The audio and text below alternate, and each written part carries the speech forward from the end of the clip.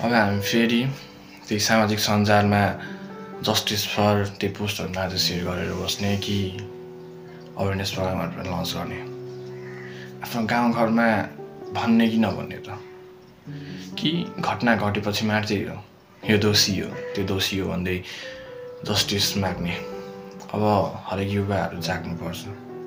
आफ्नो ठाउँबाट आफूले सक्दो गर्नुपर्छ। र अवेरनेसका क्याम्पिङहरू पनि लन्च गर्नुपर्छ। हामीले आफ्नै घर परिवारलाई भन्नुपर्छ यस्ता घटनाक्रमहरू छन् भने हामीले पुलिसहरूको सम्पर्क गर्नुपर्छ। अझै पनि कति पीडितहरू छन् जसले आफ्नो आवाजहरू पोख्न पाएका छैनन्। आफ्नो आवाज भन्न पाएका छैन आफूले पाएका ती वेदनाहरू सुनाउन पाएका छैनन्। त्यो माध्यम बन्न चाहन्छौँ हामी।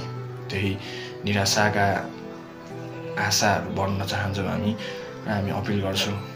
यदि तपाईँहरूसँग भएका केही घटनाक्रमहरू छन् यौन हिंसा तथा बाल हिंसा जस्तासुकै हिंसा छन् भने खुले खुलेर बोल्नु प्रहरीलाई सम्पर्क गर्नु र आफ्नो परिवारको इज्जत जोगाउनको लागि आफूलाई चाहिँ नमार्नु होला किनकि यदि तपाईँ नै रहनु भएन भने तपाईँले जोगाएको इज्जत के काम त पहिला आफ्नो बारेमा सोच्नु आफू माथि भएका हिंसाहरूको बारेमा सोच्नु र फेरि पनि भन्न चाहन्छु परिवारको इज्जतको लागि आफूलाई नमार्नुहोस्